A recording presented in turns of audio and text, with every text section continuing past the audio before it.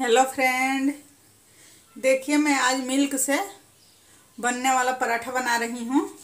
ये बच्चों का फेवरेट है, आप चाहे तो बच्चे के टिफ़िन में भी दे सकते हैं, घर पे भी दे सकते हैं।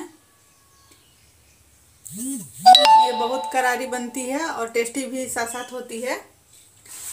देखिए, ये कितना करारी और टेस्टी बना है। ये परत परत में अच्छे से खुल भी जाता है, देखिए। देखिए कितना अच्छे से पूरे परत में खुल भी जा रहा है। और इसका ये दूध देखिए कितना अच्छा दिख रहा है, दूध और शुगर जो डाली हूँ। तो देर नहीं करते हैं, चलते हैं, इसे बनाते हैं। इससे पहले वीडियो को लाइक करिए, कमेंट करिए, अगर रेसिपी अच्छा लगे तो। और चैनल पे जो पहली बार है, चैनल को सब्सक्राइब करिए, बेल आइकन दबाइए, ताकि जो भी मैं वीडियो बनाऊँ, सबसे पहले आप लोगों तक पहुँचे। तो देर नहीं करते हैं, चलते हैं, बनाते हैं। ये कप मैदा है, इसको गर्म पानी से, गुनगुने पानी से गूथ लेती हूँ। ज़्यादा गर्म नहीं होना चाहिए, गुनगुना होना चाहिए। इसका सॉफ्ट डो बना ले रही हूँ।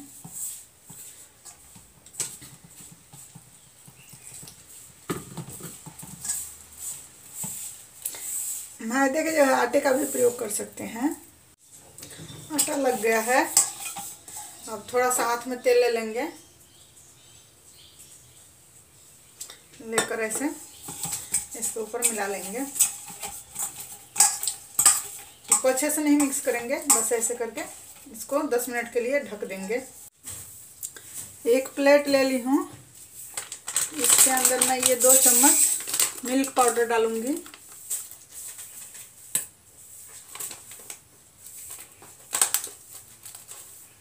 देखिए दो चम्मच मिल्क पाउडर और ये दो चम्मच चीनी है, पिसा हुआ।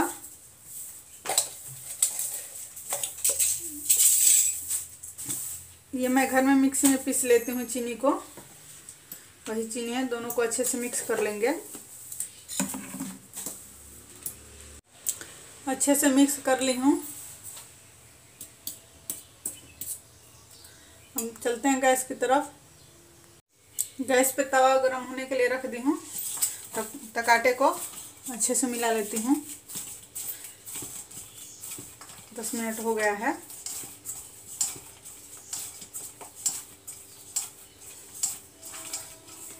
अच्छे से मिल गया। गर्म पानी से क्या होता है कि आटा बिल्कुल सॉफ्ट हो जाता है। इसको दो या तीन लोई जितना बनाना है आपको बना लीजिए। इसको ऐसे फैला लेंगे और आटे की सहायता से इसे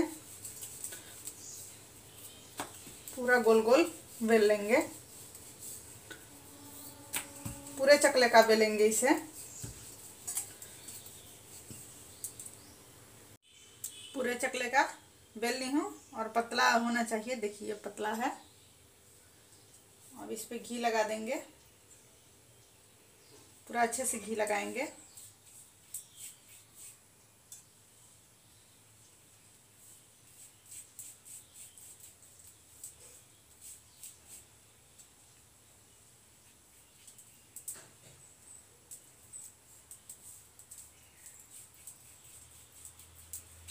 ये अच्छे से घी लगा ली।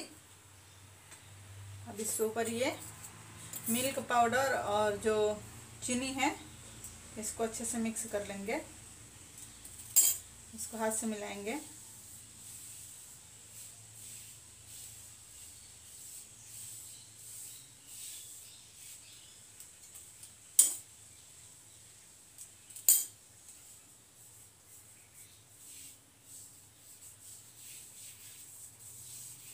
अच्छे से ये मिल गया। अब इसको फोल्ड करेंगे।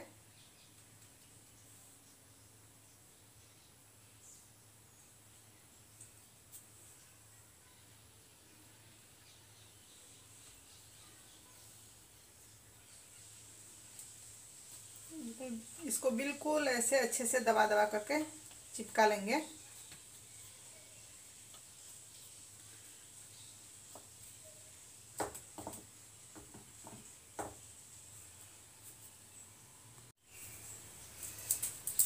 इसे चकोर में बेल लेते हैं।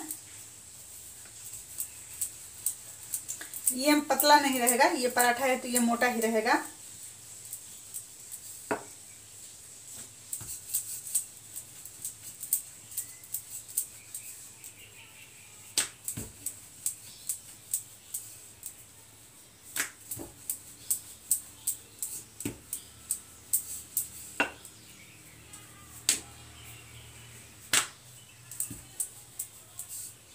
रेडी हो गया?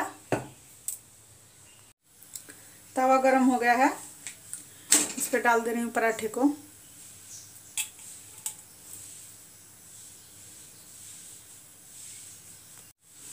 इसे पलट ले रही हूँ।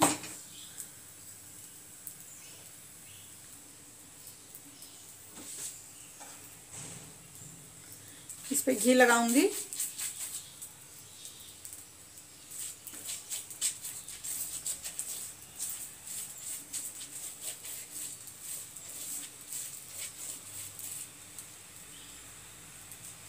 फिर दूसरे साइड भी इसे पलट लेंगे।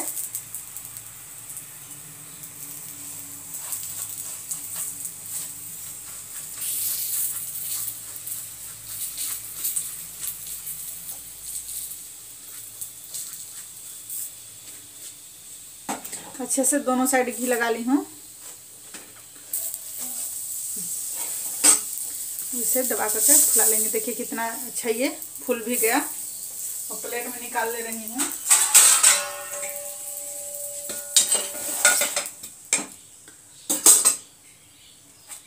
देखिए बन करके रेडी हो गया। बाकी के पराठे ऐसे ही बना लेती हूँ।